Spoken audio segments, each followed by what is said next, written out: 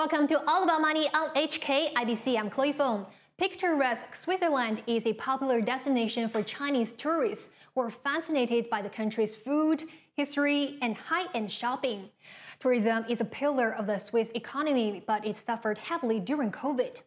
However, Switzerland's tourism industry is back on the road to recovery, aided by Asia's reopening and impressive promotions.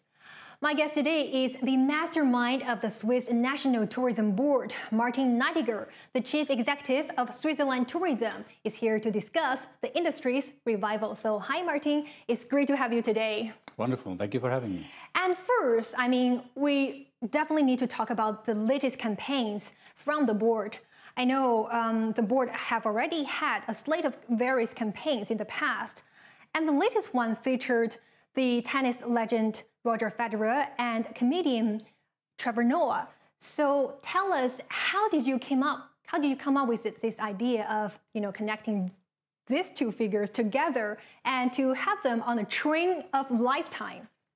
Well, it's actually the, the third one of a series. We started already three years ago. The first year was together with Robert De Niro, the second one with Anne Hathaway. And now it accumulated uh, basically with this duo, Roger Federer and Trevor Noah. Mm. And uh, it, uh, the base of it is the, the, the, willingness of Roger Federer, who is mm. undiscussibly uh, a legend, a Swiss legend, uh, his willingness to work together with the Swiss tourism industry. And I think this is where it's based on. And the fact that we could do already three in a row is just overwhelming. Hmm. And this time you have the half Swiss Trevor Noah on this. You, your campaigns actually put a lot of focus on the train system, on the public transport system in Switzerland how important are they in boosting the, you know, the tourism sector's growth?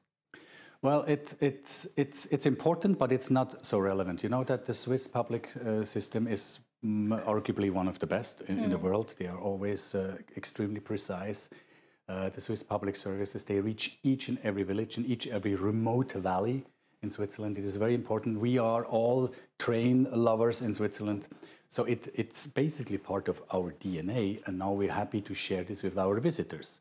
And plus, it helps us now also with more sustainable travel, because once you're in Switzerland, it totally makes sense to hop on the trains and mm. use the hmm. public transportation system. So it was kind of obvious that now in the third edition of uh, the clip with Roger Federer, that we, we, we put the scene or we make it the scene of, uh, of this uh, uh, public transportation system, uh, namely the trains.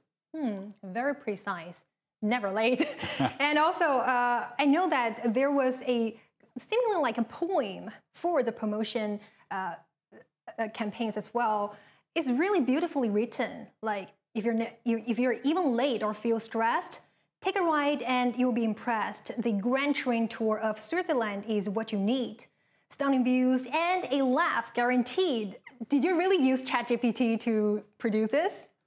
Absolutely, but this is not the campaign. This is my very personal LinkedIn post, which you have just cited, and uh, because we're playing around now. With now we have the clip, which is fabulous. I really recommend everyone to have a look at it. And now we're playing around with it. We have bloopers. So, so many things went, went wrong at the shoot. We have a train interview, an interview on the train. Roger is asking Trevor some nasty questions. And now we're playing around with GIFs and also with little poems because AI is, uh, is so present everywhere. So I personally just thought I make a little poem and I use ChatGPT and I have also declared it, prompted by ChatGPT. So it's, it's fun to, to, to play around right. with this. Boosted by AI technology as well. Exactly. And how does Switzerland also differ from other European destinations? Well, we are in the center of Europe. We are the, we own the Alps, you could say. We are in the center also of the Alps. And um, uh, of course, all or most of European countries have uh, fabulous nature. But um, I would really say, and I might be a little bit biased, that uh, it is absolutely uh, fabulous the nature in Switzerland. The mountains, the combination between mountains and nature and landscape, uh, the the contrasts between beautiful mountain lakes and the high mountains is just spectacular. I think this is really one of the main reasons why people choose Switzerland as a destination because of its just unspoiled, stunning nature. Mm. Also, to help people distress and to experience a totally different lifestyle when there's any chances. And also, speaking of uh, the industry, Switzerland, uh, you know, this tourism industry account for about nearly 3% of the national GDP. And also it accounts for about 4.4% of jobs in Switzerland. So it's a very important segment. And this industry was also hammered by the uh, pandemic, uh, with the industry losing over 935 billion US dollars in revenue. And when, I mean, the industry has been recovering since last year. Uh, but now, when do you think the industry will be fully recovered to its peak, peak level, mm. its heyday levels? The, uh, actually, the importance, the, the, the, fiscal importance of tourism in Switzerland is significantly higher than the numbers you just mentioned. These are the direct effects. Mm. But uh, tourism is not an isolated industry. Mm. You have so many uh, uh, businesses actually surrounded the tourism industry because we uh, so, so many tourism destinations are remotely in Switzerland, and basically the whole valley or the whole region depends on tourism. Maybe not directly mm. uh, with a hotel or with mobility or a restaurant, but indirectly. So it is quite important that uh, I think this is probably true for other countries too, but right. in Switzerland particularly.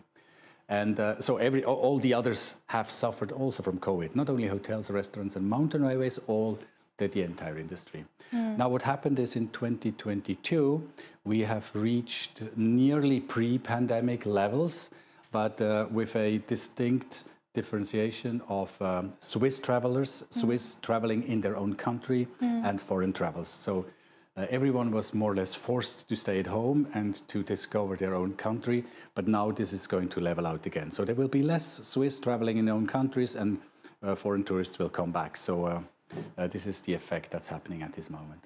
Mm, then would, uh, for example, this year with the China reopening, could, could we see an even better recovery uh, for 2023 then? Absolutely.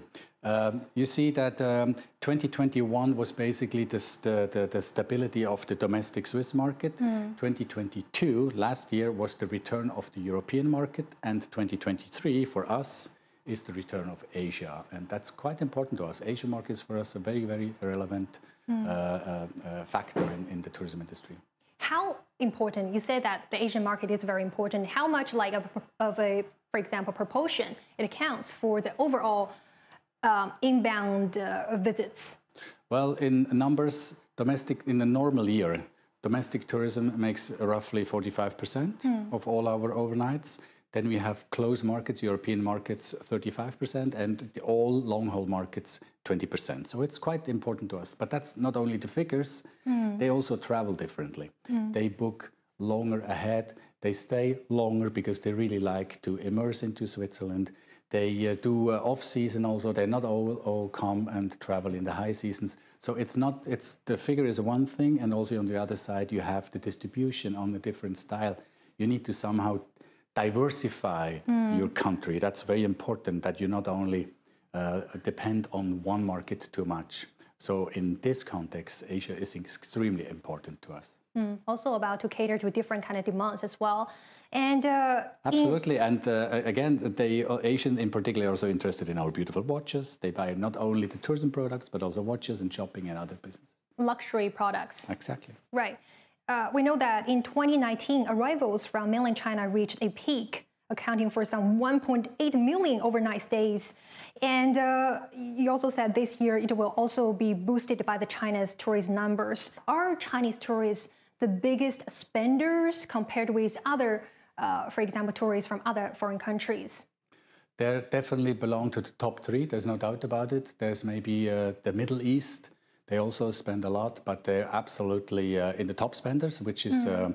uh, not so surprisingly because when they choose to travel to Europe and when they in particular travel to choose to Switzerland, they really want to make the best out of their vacation, and uh, so they uh, they uh, they're willing to uh, to um, to spend the money, and that's quite interesting to us. Is there any data about the per capita spending from Chinese tourists compared with other tourists from other regions. Right. So it is roughly 380 francs a day what Chinese spend in, uh, in Switzerland. And that in comparison to the Middle East, they're roughly about 430 or 450 dollars mm. uh, a day. So there's a, a slight difference. Mm. After China, which is the third like country on the list? It's America. It's the US. Yeah. All right. Hong Kong maybe could also see some small portion of the overall market as well. Is there any data about how many Hong Kongers travel to Switzerland before the COVID time? Yeah, we had uh, before the pre-pandemic, we had roughly 200,000 uh, uh, overnights uh, from uh, Hong Kong to Switzerland. Mm. So uh, that is a um, this is a, a, very interesting number. It's of course it helps that we don't need a visa from Hong Kong to Switzerland. It helps that we have a direct connection to Switzerland between mm. Hong Kong and Zurich. That this is really really helpful. Right. And also now with potentially more uh, visitors coming to your country for traveling, what have been done to also prepare for the influx of the tourist numbers? Well, you know, when is it we, ready for cater to more visitors? We are absolutely ready because, um, luckily enough, Switzerland was never really down down. Never was a single hotel closed. Our government allowed hotels to be open throughout the pandemics. Our ski resorts were open, uh, and uh, actually, two years ago in that winter, the, Switzerland was the only European country that allowed operations uh, in the ski resorts. So our government um, was very tourism friendly, you would say so. So we didn't clash completely down to zero. So we always had a certain level. Mm. This allowed us to keep staff employed. This allowed us to keep operations going, and then the ramp up was considerably uh, faster than maybe with others. All right, thank you very much for sharing, Martin. Let's take a short break for now, but coming up next, we have more discussions over the Switzerland tourism industry's recovery outlook and, and what, what are the keys to make successful campaigns. So don't go away.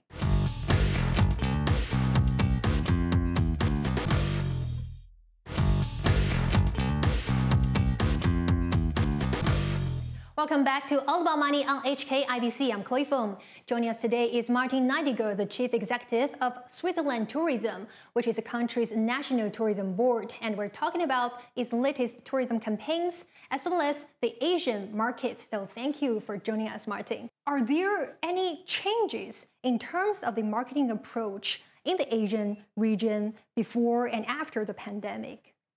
Well, we're just about to start up, uh, so we cannot really tell has it been changes, but we can tell from the tour operators that the demand has slightly changed. One significant change is that people really want to stay longer in Switzerland. They're a little bit done with uh, hopping in the European capitals in a couple of days. Mm. So it seems that the pandemic really made people rethink we want to immerse in one country. People stay longer to really appreciate the whole country. They choose smaller groups or FIT. FIT is the terminology for uh, individual travelers. Mm. And also they're interested in exploring new seasons. For example, autumn seems to be very interested, uh, which is a fabulous season. Or even winter. You don't, you can ski, of course. You can enjoy winter on a slope. But if you're not a skier, there's so many things to do in Switzerland, even if you're not a skier, because the landscape completely changes. And if everything is snow covered, it's just magical. Now, if uh, the stayings are longer, how long, usually what is the uh, average staying length then? Uh, usually before it was statistically uh, uh, around two two nights, mm. but then you have the really short uh, stayers and a bit longer, so it's a it's a, a medium. so, but we think this is going to increase significantly. You should really plan a week to enjoy Switzerland at its best. All right, got it. And also, uh, are there any dis- dis, um, significant differences between the Chinese tourists and other Asian uh, tourists in terms of their, for example, consuming and uh, traveling patterns now? Well, what we realize is that maybe more than some years ago, Chinese are really interested also in the local food, that they mm. really want to explore the country also through their palate they're interested in what Switzerland has to offer uh, culinary wise. Mm. And uh, also, not only the hotspot, of course, you need to go and see the Matterhorn. This is our, our famous, most famous uh, mountain, the most photographed mountain in the world, by the way. So, of course, this belongs on any bucket list, but that's not it. You have not really seen Switzerland, but just take, uh, uh, taking your picture of the Matterhorn. There's so much more to see. And uh, this is really interesting that people want, or Asian tourists want to uh, of course, see the hotspots, but then immediately go and see also maybe unexplored destinations. That's quite interesting. Off the beat, like off destinations. The, off the beaten path. So, will you, uh, for example, will your board also cater to uh, design some new routes for the for the travels as well? We do that exactly because we want to uh, we want to give the travelers tools to discover the country. One tool you could call so is our grand tour of Switzerland. Mm. It is something like the Route 66. It is a road trip tour, 1,600 kilometers long, mm. and this is actually a perfect combination of hotspots of, of, of, places in Switzerland you need to see, like Lucerne, you need to see, Jungfrau, you need to see. But then again, small places where you probably have difficulties to pronounce the, the name, sometimes even us, right. and uh, a, a, little bit uh, unexpected Switzerland. So this exists actually uh, as a road trip. It's called the Grand Tour of Switzerland, and almost the same concept we have on trains, and that's called the Grand Train, Train Tour of Tour. Switzerland. And that brings us back to the campaign with Roger Federer. With Roger, we're we're promoting now this grand train tour of Switzerland. I know that you seem to be still positive about the outlook for the China market, but on the other hand, I know that Hotellerie Swiss president he was uh, also signaling some concerns about China market uh, outlook, uh, citing the geopolitical concerns. Would this be something that will also worry you at some level? Um, in terms of its longer, uh, long-term outlook?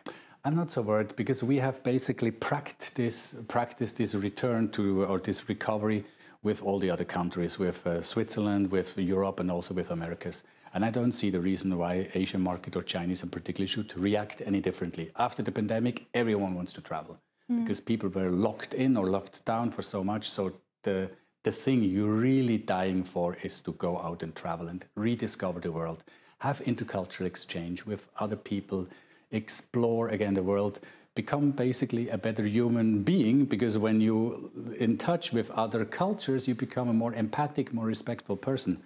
And I don't see why this should be any difference in, in, in, in China or in Asia than in other countries. So I'm, I'm quite positive that people are very, very resilient to many things, to many obstacles, because mm. traveling is something very, very important in human beings. Mm. So, in terms of geopolitical development, this would not worry you? I hope so. It, uh, mm. it won't uh, stress the market too much. Yeah. Mm, got it. And also, speaking of the uh, your expertise, you have years of experience in the strategic marketing management, and you also did great work in promoting Switzerland's tourism. I'm not sure if you noticed this or not, but Hong Kong has also launched its own tourism campaigns. I'm thinking, uh, from your perspective, what would make a campaign to be successful? Uh, I'm unfortunately. What are the keys to it? I, am not aware because I haven't seen the, the one from Hong Kong yet, so I cannot uh, elaborate on that. But what I realized when I just landed here that one of the first touch points I saw was there was already Hong Kong welcomes you with a counter with someone who would have been at my service, and I think this is very important. We have something similar actually in Zurich. At the airport, uh, we already we have uh, large branding to really welcome the visitors because you never get to a, show the hospitality to show the hospitality right away. So when they basically embark the plane and they the, the first touch point is the airport, they already need to be welcomed. So this is something we have in common, and I think this is very important. What's the point in creating big marketing campaign that once the visitors come to you, they're left alone. So I think this is something uh, very positive. And nowadays, um, every country on this planet is a tourism destination. So there's a competition going on. So you need exactly. to be you need to be creative and authentic at the same time. Mm. And this is very key to, to, to balance those important factors. Authentic as well. Uh, how, how much of experience do you have in Hong Kong? And if you could also share with us some suggestions on how we could make Hong Kong more attractive to the international communities, what, what kind of like suggestions that you would suggest us to also look into?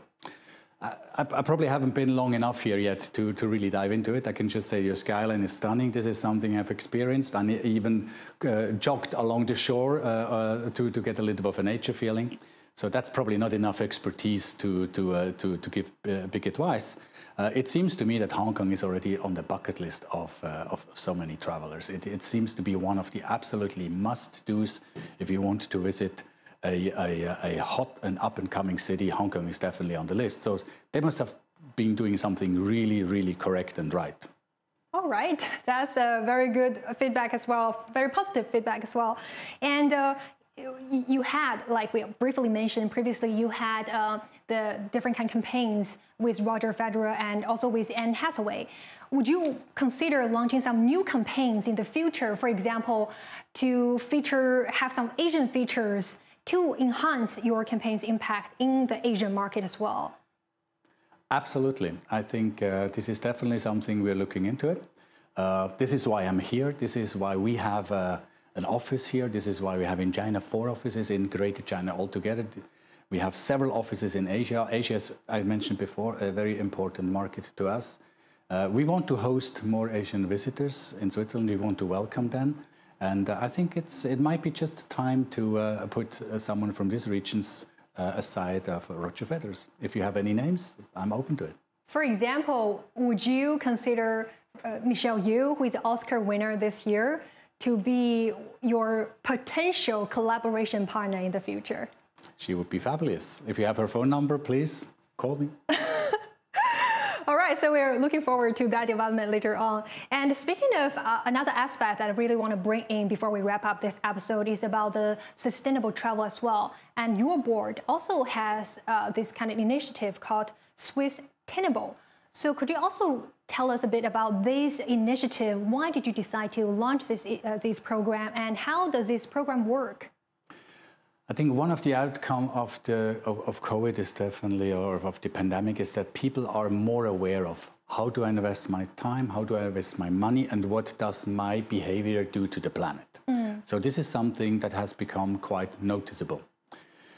Sustainability at its own is not a travel motive. No one on this planet is picking a destination because that destination is particularly sustainable but it becomes a reason not to go if the country is doing bad things to the planet. So you need, really need to find the right answers. And the answer of Switzerland is basically that once you land in Switzerland, you have reached the most sustainable travel destination in the world. And we make sure that everyone, that all the, the service providers, the hotels, the restaurants, the mountain railways, behave very, as sustainable as possible. And uh, for this, we have created this uh, initiative, which is called Swisstainable, mm. the combination of Switzerland and sustainable, something no one can copy. And uh, we already have, within one year, we have already 1,800 uh, service providers who are participating. Our goal is 4 5,000 mm. to really ensure to the travel industry, to ensure to the visitors once you reach the country, you can be sure we pay all our staff fairly. We do whatever we can to reduce our emissions and you are doing something good if you're visiting this country. This is not a negative impact on the environment, this is actually something good. Uh, what, what, do they do um, practically to to make sure that their surveys are sustainable uh, are sustainable it's uh, it's uh, one part of the whole initiative is also a program mm. so our participants uh, the hotels for example they have the possibility to join us in one of three levels. We have Swisstainable one, two, three. One is the entry level, three is the, the, the golden standard, you could say so. And depending on the standard, they have very, very high mm. uh, criteria. For example, the, the golden standard, they really need to do, they need to dedicate one person who does nothing but making sure the organization really, really uh, sustainable. This is food waste, this is transportation, this is limits of energy. It might not be so exciting to hear for the visitors, but we can make sure that the, uh, the impact on environment mm. will be absolutely minimized in such a, a, hotel or in a, in a mountain railway. Mm. Do you see the sustainable travel will also be a trend globally later on with more countries uh, you know, joining this kind of such initiative as well? Absolutely. I don't know any country which has no sustainable plan. They all have concepts, they all have strategies, all of them are as far as, as we are in terms of executing the plans. We are a little bit of we have a little bit of a uh, first mover advantage. This has got to do with the fact that Switzerland, it, it, the Swiss people, the population of Switzerland, they behave per their own DNA already quite sustainable. We are recycling for centuries. We're taking care of our environment and of our nature for a long time because it's our asset. I mentioned before the reason number one why visitors are choosing Switzerland is nature. Mm. So it's our responsibility to do whatever we can to protect it. Absolutely. Thank you so much, sir, for your sharing. That's Martin Nydegger, the Chief Executive of Switzerland Tourism, and we'll be back next Sunday night. Until the next time, please take care.